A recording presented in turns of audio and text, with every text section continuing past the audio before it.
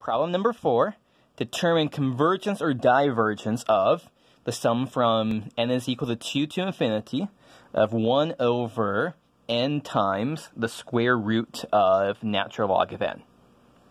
Okay, so how to do this problem? The thing that catches my eye is that if I were to replace n's with x's and look at x times the square root of natural log to the x, this is something that feels like it can be done using the integral test because this would be an integral that we, we can evaluate. So, as it turns out, if we do a substitution, substitute in u is equal to the natural log of x, then du would be 1 over x dx.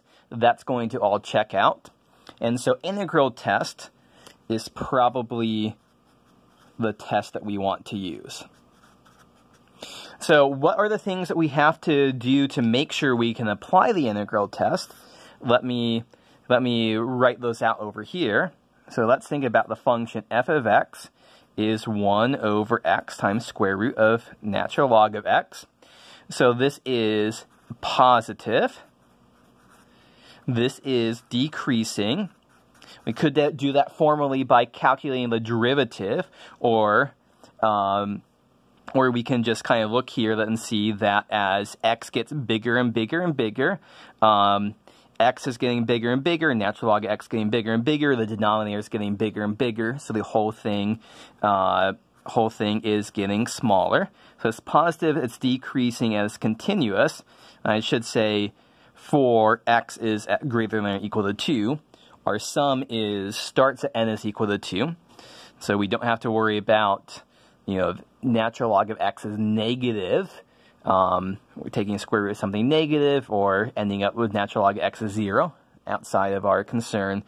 So because f of x is positive, decreasing, continuous for x is greater than or equal to 2, what that tells us is that, oops, let me put 2 to infinity here, what that tells us is that this sum and this improper integral, these have the same behavior.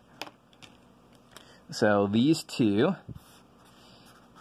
have the same behavior.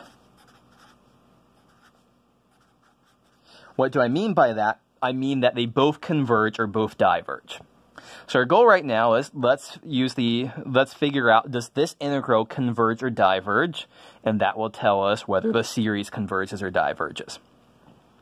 Okay, so let's get into this integral right here. So, so uh, I'm just going to, I'm just going to look at the indefinite integral for the time being, find the antiderivative, and I'll put in bounds later. I already gave away how we're going to attack this. Let's set u is equal to natural log of x. du is 1 over x dx.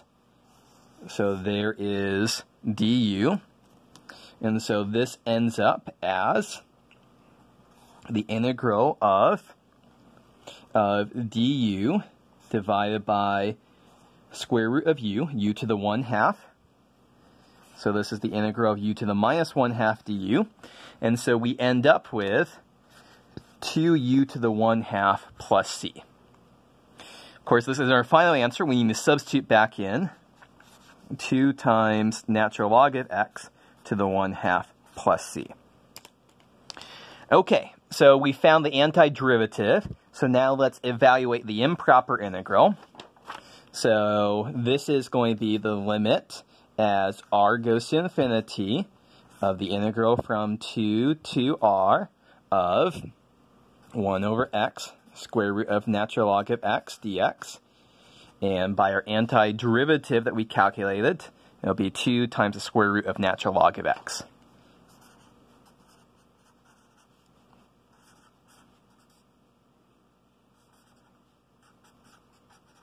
And we're going to plug in 2 and r.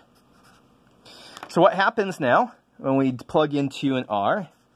Limit r goes to infinity of 2 times square root of natural log of r minus 2 times uh, the square root of natural log of 2. Okay, as r goes off to infinity, natural log of r goes off to infinity, the square root of that is still going off to infinity. This is a constant, and so we end up with infinity here. So we conclude, going back here, we conclude that this diverges. So by the integral test, because the corresponding integral, improper integral diverges, we conclude that the original series diverges as well. So to recap, what do we do here?